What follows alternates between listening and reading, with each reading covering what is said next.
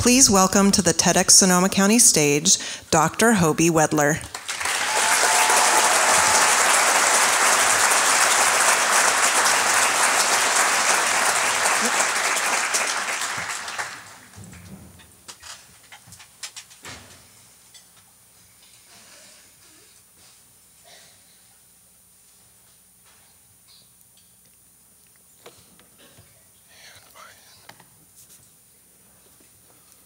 Hi there. I want you to join me and imagine being in a field, standing there on a foggy spring morning in southern Sonoma County. The visual is striking and commands your full attention. But what other information do your other four senses offer you that has nothing to do with vision? You can hear the birds chirping in the trees. Cows moo in the distance. And the, you can feel the viscosity of the air on your face coming from the thick fog. Smells of bay, eucalyptus, and redwood trees mingle with manure, alfalfa, and fresh cut grass to form an aromatic symphony that is nothing short of beautiful. The ground is soft and yielding beneath your feet from the winter rains. If my white cane didn't give it away, I'm completely blind. And I was born this way. I stood in this field that I just described many years ago with a group of sighted friends. They could not stop talking about the view. They all wanted to describe the vista to me, even trying to describe what the color green looked like. Frankly, I didn't really care what the color green looked like because of all the sensory information that I was getting non visually. When we got back in the car, I asked them to, I decided to explain to them what I noticed about the surroundings. Surprisingly to me, they noticed none of this. They were so focused on the visual that they were incapable of looking beyond eyesight. Eyesight is a valuable sense, indeed. It tells us a great deal about the world around us. But it can be distracting and it can cause our other senses, if we're not careful, to go dormant. I've seen this in my clients. This experience in the field, along with countless others, helped me to understand sensory design. But before we address sensory design, we need to talk about sensory literacy. What is sensory literacy? I believe that every thoughtful person should be able to take in data from all five of their senses, process that data, and then intelligently draw conclusions or predictions. We're all visually literate.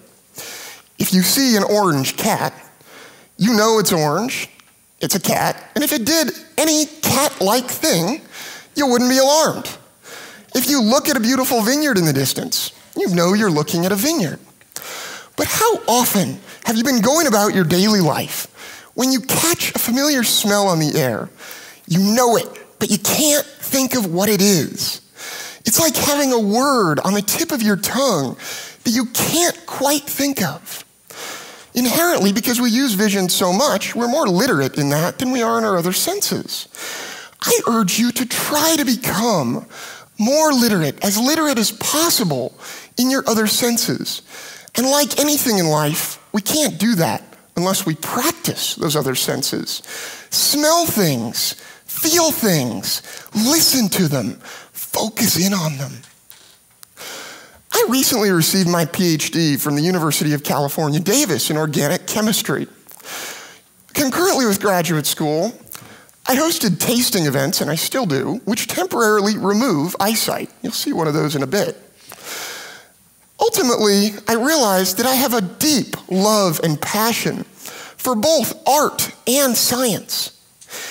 And what I'm doing with my career is I'm trying to shape it such that it straddles this intersection, this very fine line between art and science. I call that sensory design.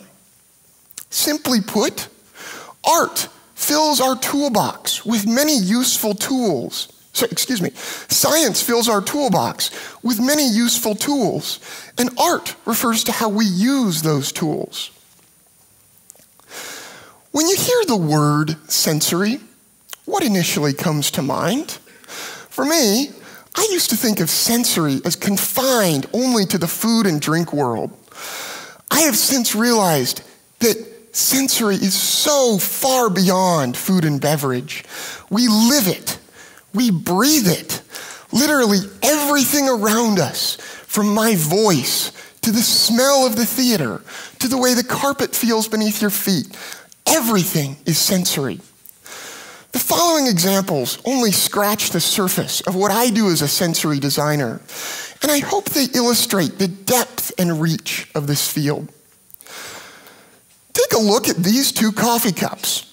You're 10 minutes late to work, but you still stop at that coffee shop because you need your little caffeine. And you get a surprisingly high quality cup of Joe in that paper to go cup with a flimsy lid and a tiny drinking hole. I guarantee you the experience of drinking that coffee is entirely different than the experience of drinking the exact same cup of coffee out of the beautiful ceramic mug on holiday reading a Sunday paper would be. My only point here is that our understanding of that coffee and our perception of it, and anything really, is highly dependent on a multitude of sensory and psychological inputs far beyond the cup and what's in it. Would you ever think of drinking wine straight out of the bottle, like we might take a slug of beer? Society's led us to believe that we need this funny shaped glass to properly enjoy wine. Why is beer not the same? At the reception in a few minutes, I urge each and every one of you to step behind that bar, grab a bottle of wine, and take a swig right out of it. You're going to be judged for it, but why? Why are you going to be judged? To switch gears a little bit, let's now listen to first the sound of an entry level and then a luxury automobile door shutting. Entry level, luxury. I'll play them again. And what differences do you hear? Entry level, luxury. Clearly, the luxury manufacturer has put more attention into making the sound of their door shutting quieter and a bit more complete, right? The entry, the entry level car door shuts with much more of a clatter, a chunk. Next time you pick out a car, I bet that a lot, a multitude of non visual and frankly fairly subconscious sensory data will play in to your buying decision, including the sound and the feel of the door. We think we buy cars because we like the lines, we like the way they look, but we're really buying them for many reasons, a lot of them being the subconscious, non visual sensory in- inputs that we receive. Now, I want to show you sensory design in action. I wanted to give each and every one of you a glass of wine, but the theater wouldn't let me. So that means that if you want to see this for yourself, I guess you're going to have to buy me a drink. It's thus my great pleasure to welcome to the stage my dear friend, Dr. Charles Pyle, who chairs the School of Illustration at the, the Academy of Arts University in San Francisco. Chuck, welcome. Hey, Hoby. Happy to be you here. Look, you look sharp today, by the way. Hey, everybody. by the way, this painting that you see, Chuck is, a, is an accomplished longtime painter, and you see one of his images up here. Chuck, I particularly love this one. Thank you, Hoby. It's beautiful. Now, I live, I live under a blindfold, but Chuck doesn't. Chuck is a very visual person in his career and uh, uses vision every day to paint these beautiful things. But now you're going to spend the next few minutes under blindfold if you don't mind. Great. I'm going to go, go ahead blind. and put it on. On there stage. you go. Oh. My goodness. Aside from that sound of the rainforest that you just heard, one of my favorite clips from the Amazon, what do you feel right now, Chuck? How does this space feel to you? My ears reach out in front of my head, and the room fills in from the sides. Yeah. You can hear the vastness of the audience in front of you. Mm-hmm. I'm just reminding you of that, just in case Thank you you. couldn't. Yeah, it's no 750 friends. That's right. Chuck, on the table in front of you, you have two glasses. By the way, anyone who wants to give a TEDx talk in the future, I encourage doing it with wine. We're going to find the glass on the left. Go ahead and. You got it? Mm-hmm. Okay, we're going to go ahead and lift it up and smell it. Ah, what do you smell? Hmm, A little apple, Apple? What about those beautiful minerals we talk about? minerals. few minerals, but the apple that Chuck pointed out is really more of a browning apple smell. Take a green apple, cut it in half, and set it on the counter for a few hours. It begins to get a browning essence going. By the way, you all get to see what Chuck's drinking. He doesn't know. Let's go ahead and taste it. Mm.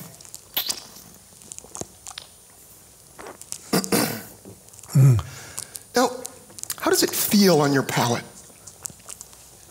Um, a little dry. A little bit dry, meaning meaning less my- sugar.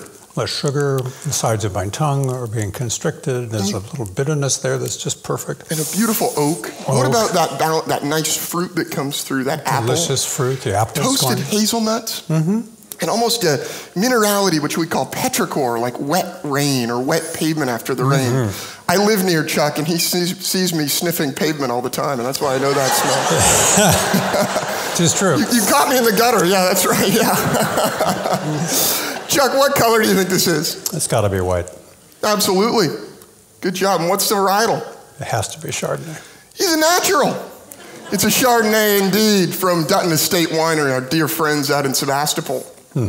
Lovely. Let's go on to the red wine here. Let's go on to the second wine here. I gave you that one. I, I- just didn't think you could do it, Chuck. I had to give you that one. It's not a rosé. You know, well, it's actually, now I'm smelling it, it's actually an IPA. Hmm. I'll chug. What does it smell like?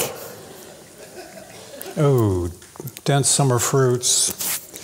A little sugar. Kind of a brilliant thing though with this wine. Don't you notice like a dark fruit, dark mm-hmm. cherry, plum, mm-hmm. blackberry, etc., mixed with these really bright, vibrant fruits. Mm-hmm. Fresh cranberry, like on the Thanksgiving table.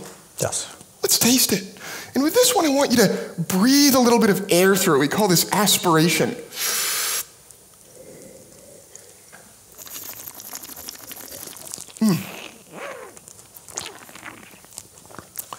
Tannins. A bit of astringency that's so natural. What else do you notice? Fruit. You know, there's a characteristic of wine like this, which is cherry cola. Cherry cola. And there's that beautiful, almost black cherry mixed with that lemon lime, cinnamon, and vanilla kind Yes. of thing going. Yes. Gorgeous wine. Chuck, what color is this? Uh, I red. think it's a red. It must and be. what's the varietal? This has to be a fabulous Sonoma County Pinot. It absolutely is. This is a Pinot Noir made by Kathleen Inman. It's her estate OGV Pinot from her property out on Piner Road. Mm. Chuck, you've done a very abbreviated, abbreviated version of this. Usually I take these for about an hour to an hour and a half. But what did you think of it? What, and, and how do you feel with the blindfold now that we've done this? Well, I'm a visual artist and I look for beauty in everything around me. It reminds me that great wine, like great art, shares beauty with us, only using different sensory channels. And now, when I go back out into the real world, decided I'm going to have to use all of my other channels a lot more. Absolutely. Chuck, thank you very Thank you. much. Thank you for joining me. Let's hear, it for, let's hear it for Dr. Pyle.